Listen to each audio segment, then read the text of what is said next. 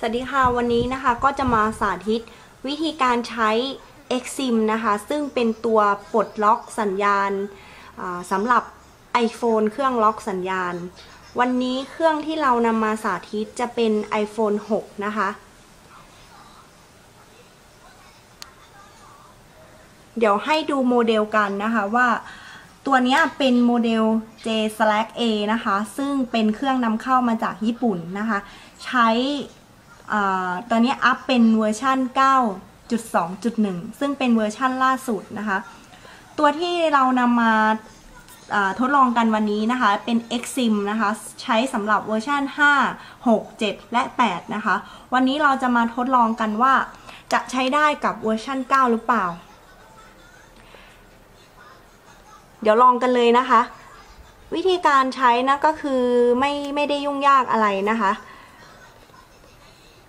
แล้วก็วางตัว Exim นะคะ เอาด้านสีดำขึ้นนะคะ Exim จะมีสีดำแล้วก็สีดำทองตรงนี้นะคะ ก็ว่าวางสีดำขึ้นไปนะคะ เพราะว่าตัว Exim นี่คือรูปทรงก็จะคล้าย ๆ กับซิมของเรานะคะ จากนั้นก็วางตัวซิมการ์ดเข้าไป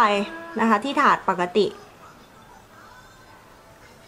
แล้วก็ใส่เข้าไปในเครื่องนะคะ ครั้งแรกที่เราใส่เนี่ยอาจจะไม่คุ้นมือนะคะ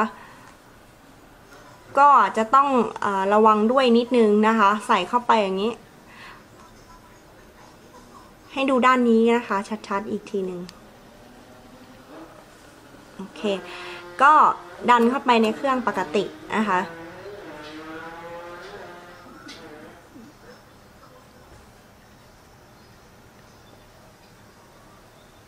เอาละค่ะ จากนั้นก็จะมีป๊อปอัพเด้งขึ้นมานะคะ ในการใส่ซิมการ์ดครั้งแรกเนี่ย เราจะต้องตั้งค่าสัญญาณเองนะคะ ซึ่งเครื่องตัวนี้นะคะเจ้าของสัญญาณเดิมเนี่ยเป็นของซอฟต์แบงค์นะคะ เราก็เลือกไปที่ซอฟต์แบงค์ค่ะ ส่วนรุ่นตัวนี้นะคะ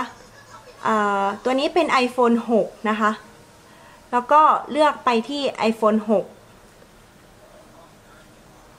6พัทส่วนเวอร์ชันนะคะ อย่างที่บอกว่า Exim ตัวนี้เป็นเวอร์ชันสำหรับ5678นะคะ เพราะฉะนั้น iOS สูงสุดก็คือจะมีที่8ไม่เป็นไรวันนี้เราจะเทสนะคะ เราก็เลือกไปที่ iOS 7.1 ถึง 8 นะคะ ตัวนี้ล่าสุด กดตอบรับนะคะ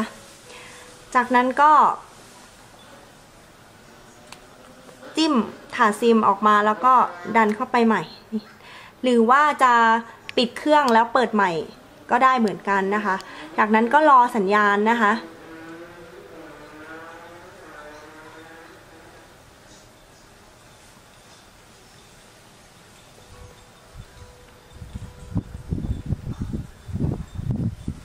เอาละค่ะ สัญญาณมาแล้วนะคะ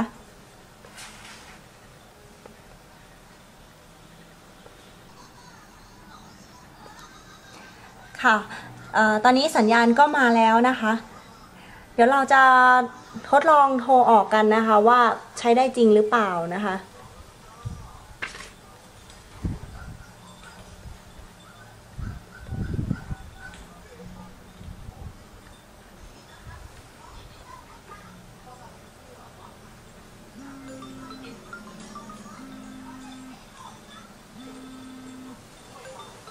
โอเคนะคะ